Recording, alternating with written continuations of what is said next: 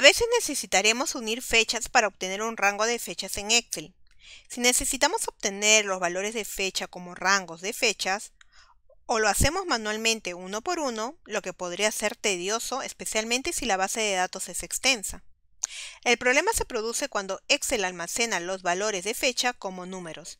Entonces, si concatenamos directamente o unimos dos fechas, algunos números desconocidos aparecerán como valores de texto.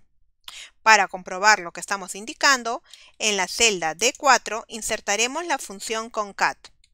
Clica FX para seleccionar la función que sabemos que pertenece a la categoría de texto. Doble clic sobre concat para abrir el cuadro de diálogo de argumentos de la función. En el primer argumento escribiremos la celda B4 o clic sobre la celda B4 que contiene la fecha de inicio. Luego, en texto 2, ingresaremos entre comillas el guion, porque deseamos separar las fechas con un guion. Pasamos luego al tercer argumento que es texto 3 y aquí indicaremos la fecha fin que se encuentra en la celda C4. Clic sobre ella o podemos escribir directamente C4. Luego clic al botón aceptar.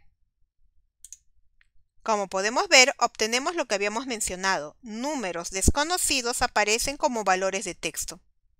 El rango resultante no está en el tipo de formato requerido. Nosotros deseamos que aparezca el rango de la fecha de inicio y fecha fin en formato de fecha. Para resolver este problema usaremos una fórmula para obtener la fecha como rango en el formato requerido en Excel. Utilizaremos nuevamente la función concat, pero con la función texto. Es decir, utilizaremos la función texto como argumento de concat.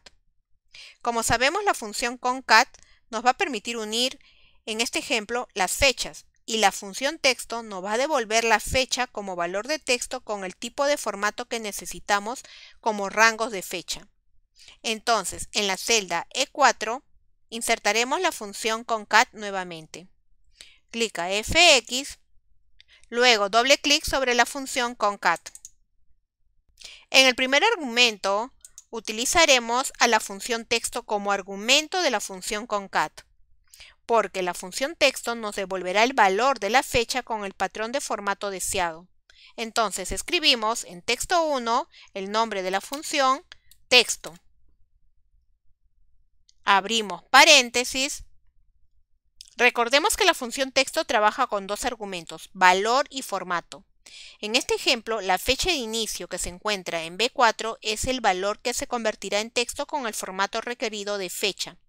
Entonces hacemos clic sobre la celda B4. Seguido punto y coma para ingresar el otro argumento, que es el formato. Y entre comillas ingresamos el formato que es de dd slash mes slash y de año cuatro veces Y, cerramos comilla y cerramos paréntesis.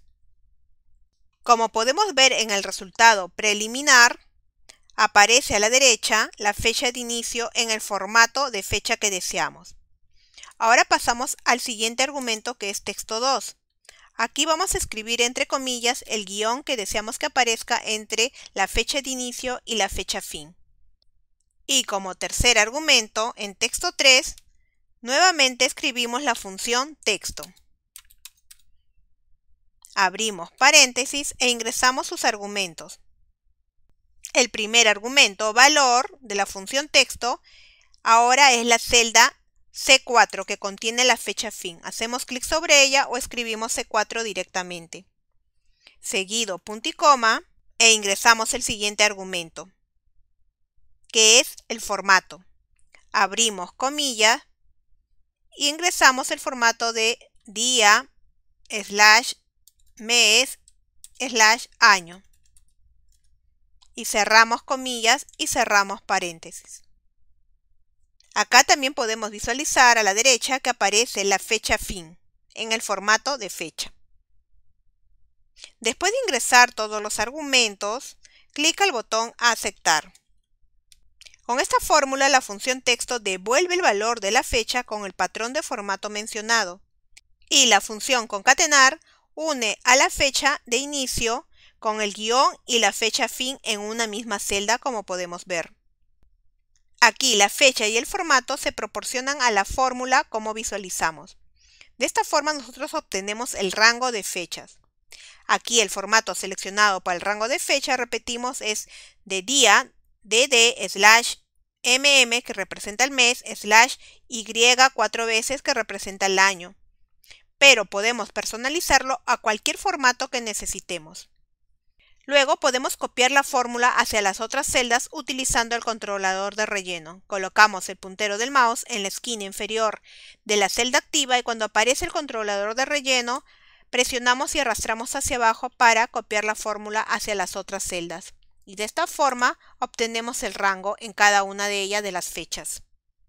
Recordemos que podemos utilizar también el carácter ampersand para unir las fechas en vez de utilizar la función concat porque ambos hacen el mismo trabajo.